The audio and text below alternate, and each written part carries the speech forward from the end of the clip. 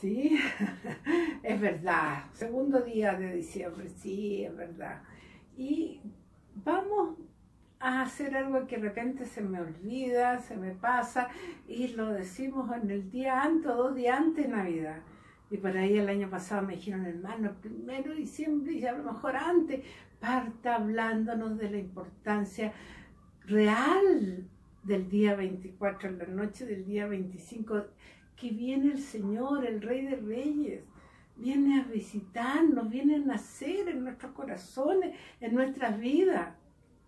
Y que el mejor regalo que podemos hacer nosotros es tener ese, esa, esa casita, ese corazón limpio que nos preocupemos de eso, hermana, díganos por favor, y no esa vorágine del dinero, del comprar y comprar y que nos endeudamos y que estamos mal acostumbrados a nuestros niños, que quiero esto, que el viejito pascuero, y el viejito pascuero pasa a ser más importante que el Señor, ¿ya? Entonces, hermanos queridos, gracias a Dios, año a año vamos siendo más consecuentes. El pesebre, el recuerdo de Navidad.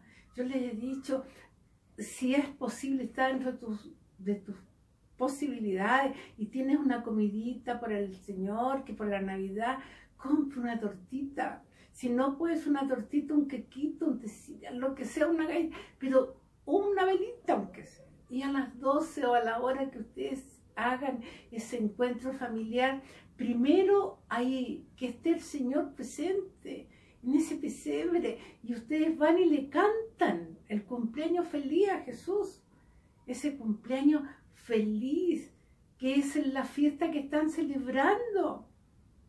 Para ahí el Señor conversa, ¿no es cierto?, con, con José y María le dice, eh, eh, eh, papá, mira, yo no sé, hablan de, de, una fiesta y, están todos y dicen de que, y, pero a mí no me toman en cuenta, están celebrando mi cumpleaños y no estoy no sé, hay un viejito que jojo, dice viejito, y todos preocupados de ¿Qué pasa, mamita, si es mi cumpleaños? ¿Ya? Entonces, tú le dices, en mi hogar no, Jesús, tú eres el primero, tú estás ahí. Así que hermanos queridos, y si vamos a pensar en algún regalo, en alguna cosa que sea algo religioso, algo que muestre el niño Jesús, que algo que muestre que te pueda ayudar a ti a crecer en él. Ahí vamos a ir viendo durante este mes, pero por lo menos ahora, hermanos queridos, hagámonos ya y conversar con los niños de la importancia de lo que es. ¿ah?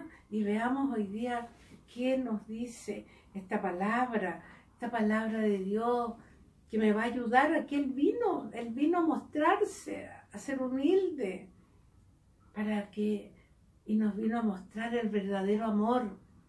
Y vamos a ver en, en 1 Corintios 13 el amor cristiano. Vamos a leerlo, que se nos quede, que este mes y este regalo sea así. El amor es paciente y bondadoso, no tiene envidia, ni orgullo, ni arrogancia, no es grosero ni egoísta, no se irrita, no se alegra de la injusticia, no es rencoroso, no se alegra de la injusticia, sino que encuentra su alegría en la verdad. Palabra de Dios. Hermanos queridos, que esto anótenlo, primero Corintios 13, el amor cristiano, el amor con mayúscula. Que este sea nuestro regalo, nuestra preocupación de lavar mi corazoncito para que Jesús venga. Mi corazón es paciente, bondadoso, no tiene orgullo, no es grosero, no es egoísta. Jesús va a poder venir o va a decir, mm, ¿a dónde voy? Ay, mejor me retiro, pero va a llegar igual para ayudar a limpiar. Así que digámosle, Señor, ayúdanos a prepararnos dignamente para que tú llegues feliz a nuestro corazón.